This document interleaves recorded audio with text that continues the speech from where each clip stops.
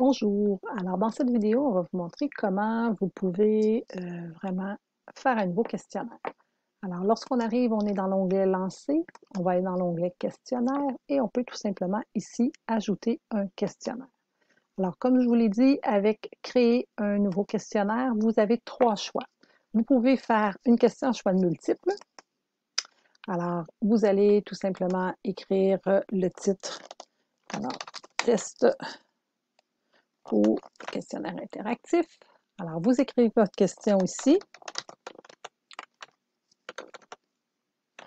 Vous indiquez vos choix de réponse. Comme vous pouvez le voir, vous pourriez aller chercher une image à un endroit pour pouvoir le faire, mais c'est seulement accessible euh, de façon avec une licence euh, payante.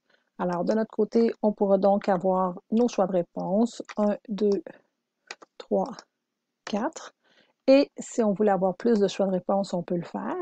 Une fois que nos réponses sont là, on doit indiquer quelle est la bonne réponse. Alors, euh, et voilà, on est là. Par contre, pour le, on pourrait aller chercher une image. Je vais prendre une image ici qui va euh, déterminer toutes, non pas chacun des choix de réponse, mais au niveau de la question. Alors ça, c'est notre première question. Alors, on confirme que tout ça est correct. On peut ajouter une autre question. Alors, je vais ajouter cette fois-ci une vraie ou faux. Alors, j'ai ma question qui va s'inscrire ici.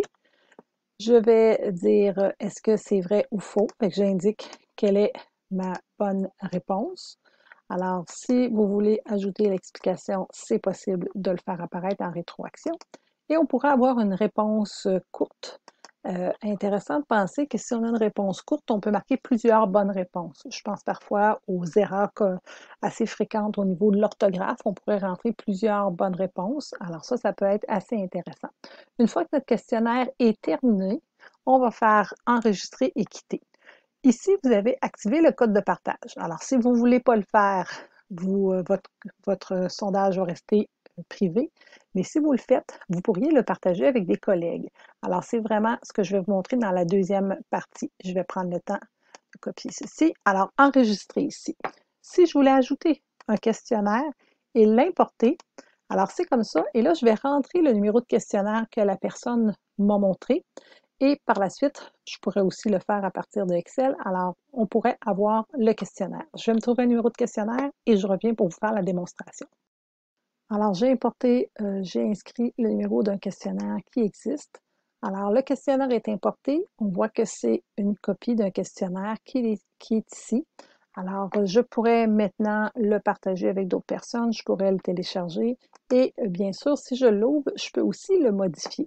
Alors, pour le modifier, je vais venir ici et je pourrais ajouter, changer ce que j'ai besoin de faire. Quand c'est fait, je dis c'est parfait. Je pourrais décider que cette question-là, je l'enlève. Alors, euh, assez intéressant de voir qu'il y a différentes options. Je pourrais aussi la dupliquer pour faire des versions différentes. Alors, une fois que c'est fait, comme d'habitude, je fais enregistrer et quitter. Et là, j'ai maintenant mes nouveaux questionnaires.